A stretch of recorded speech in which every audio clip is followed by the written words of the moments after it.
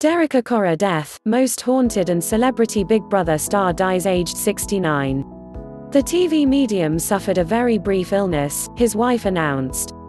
Most haunted presenter Derek Acorah has died, aged 69. The TV medium's wife Gwen Acorah Johnson announced the news in a Facebook post, where she said he passed away after a very brief illness. News script from independent.co.uk. According to Gwen, Acorah, real name Derek Johnson, had been in intensive care after falling into a coma. Farewell my love, she wrote. I will miss you forever. Acorah launched paranormal reality series Most Haunted in 2001 and appeared on Celebrity Big Brother in 2017, where he finished fourth. His death comes after a Facebook post that said he'd been sick with flu over Christmas. All clips may not represent the story.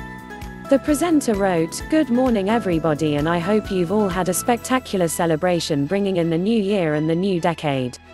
I spent the time quietly at home with Gwen as we've both had the awful flu bug which has brought us down so low, hence the reason for my lack of live presence on Facebook. Watch to become bilingual with latest world news.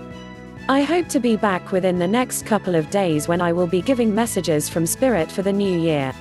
Have a wonderful day, everybody, and much love to you all. Acorah's fans on Twitter have paid tribute to presenter, with one user calling it a sad day for the paranormal world. He launched his television career by hosting predictions with Derek Acorah in 1999 and featuring on segments of The Psychic Zone. The former would see him conduct spiritual readings with members of the public in their own homes. Acorah presented Most Haunted for six years and, in 2009, he hosted Michael Jackson, The Live Seance, which saw the medium attempt to contact the singer's spirit. Please subscribe to my channel. Thanks for watching.